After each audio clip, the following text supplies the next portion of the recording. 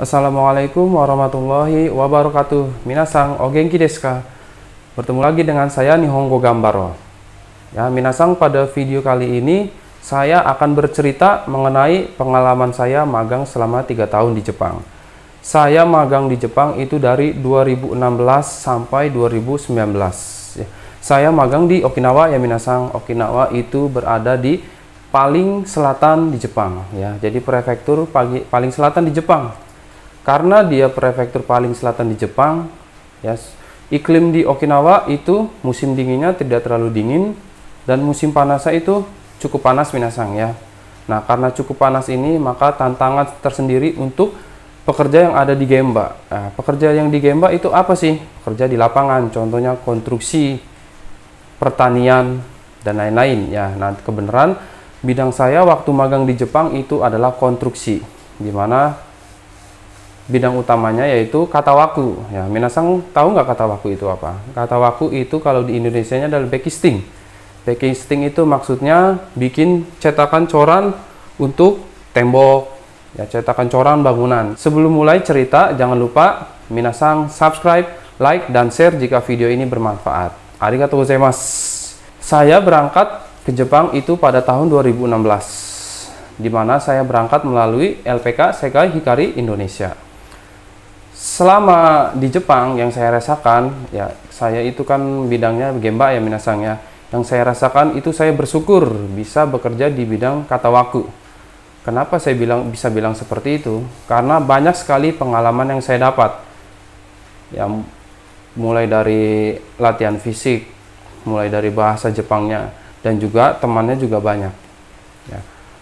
Saya rasa pasti banyak dari teman-teman ini yang nggak pengen di bidang konstruksi ya. Saya lihat seperti itu karena kalau ada ujian atau ada mensetsu pasti lebih banyak yang memilih bidang pengolahan makanan atau bidang lain yang ada di dalam ruangan ya. Karena alasannya untuk menghindari panas karena fisiknya nggak kuat. Padahal enggak sama sekali minasang ya. Padahal enggak buat minasang yang lain pasti saya yakin bisa.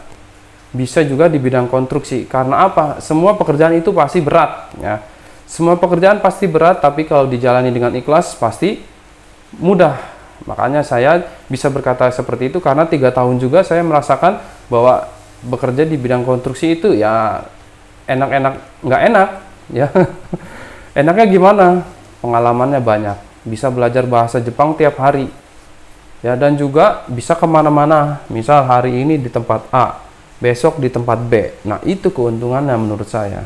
Di tempat A ini ketemu dengan orang yang lain. Di tempat B ini ketemu dengan orang yang lain. Jadi pengalamannya banyak minasangnya. Kalau masalah fisik itu pasti bisa terbiasa. Satu bulan pertama memang terasa berat. Bulan kemudian berikutnya, bulan berikutnya, bulan berikutnya pasti fisik kita akan terbiasa. Jadi bisa dilalui dengan mudah. Tahun pertama itu ya bulan-bulan pertama pasti terasa berat. Tapi bulan berikutnya, bulan berikutnya, bulan berikutnya apalagi kalau sudah menguasai pekerjaan itu akan terasa ringan. Dan menurut saya malah justru sangat menyenangkan. Ya saya itu sangat senang saya bersyukur bisa magang tiga tahun di Jepang di bidang konstruksi. Ya yang seperti yang saya sebutkan tadi. Karena ketika sudah menguasai pekerjaan itu sudah mulai tahu enaknya dan sudah mulai mencintai pekerjaan. Dan perusahaan tempat saya magang itu bergerak di bidang konstruksi dan yang dilakukan, pekerjaan yang dilakukan itu bermacam-macam minasang, bukan hanya konstruksi. Ya mulai dari bikin kata waku, ke pekerjaan rumah, ya membangun rumah, melakukan juga pekerjaan besinya, dan motong rumput juga, nebang pohon juga. Nah itu per bidang yang ditekuni oleh perusahaan saya. Otomatis karena saya magang di perusahaan tersebut, ya saya nggak bisa milih-milih pekerjaan. Pekerjaan apa pun yang akan saya lakukan minasang mau itu bikin kata waktu tagging besi. Kalau bosnya udah nyuruh ya mau gimana lagi kan? Harus dikerjakan. Tentunya hatinya juga harus ikhlas minasang. Biar terasa ringan. Oke minasang. Saya akan tunjukkan foto-fotonya ke minasang. Apa aja sih pekerjaan yang saya lakukan? Ja iki masuk. Nah ini pekerjaan saya yang pertama minasang ya. Nah di rumah ini pekerjaannya itu meluaskan tempat parkirnya dilihat kan itu ada tembok di situ. Nah itu tembok yang akan saya bangun bersama dengan senpai-senpai yang lain. Itu ada banyak orangnya kan. Nah itu semua senpai dan satu helm hijau itu teman saya yang dari Indonesia. Nah semua jadi pembongkaran awal tembok pemotongan betonnya perakitan temboknya itu semua dilakukan oleh perusahaan sendiri. Jadi masing-masing semua mengerjakan tugasnya masing-masing. Ini senpai saya lagi ngukur berapa banyak besi yang dibutuhkan untuk proyek kali ini. Nah itu dua orang senpai saya minasangnya dan selanjutnya ini nah saya lagi ngerakit besinya minasang dilihat itu saya pakai ya pakai masker ninja biar nggak hitam ya. Nah ini selanjutnya nah ini udah mulai kelihatan besinya udah mulai terakit ya minasangnya itu ada senpai saya tuh namanya Arka Kisang yang nggak pakai helm. Nah itu dia Jo bener-bener Jozu minasang ya. Nah ini saya lagi ngangkat panel-panelnya ya. Lihat itu saya bekerja dengan penuh senyuman biar nggak terasa berat minasang ya. Dan juga nah ini ada senior saya namanya dia Tanaka Sang dia orangnya benar-benar luar biasa baik mengajari dengan sabar ya. Dan ini nah ini dia saya ketika selesai ngecor bisa lihat itu bajunya celananya kotor semua kena beton ya. Tapi ya walaupun kotor walaupun berat tapi rasanya happy aja enjoy senang ya. nah ini senpai saya dan teman saya yang dari Indonesia lagi PK lihat itu senpai saya itu namanya Maksang. Nah, Maksang itu lagi megang kepalanya. Pusing dia katanya mau ketemu istrinya di Filipina 10 tahun gak ketemu-ketemu ya. Kasihan Minasang ya. Tapi dia itu senpai yang saya hormati. Karena dari dia saya belajar berbagai macam hal nah ini gemba selanjutnya Minasang. Di gemba ini saya itu lagi moto bagian atas besi dari bangunan yang akan dibangun bersama Arka Kisang.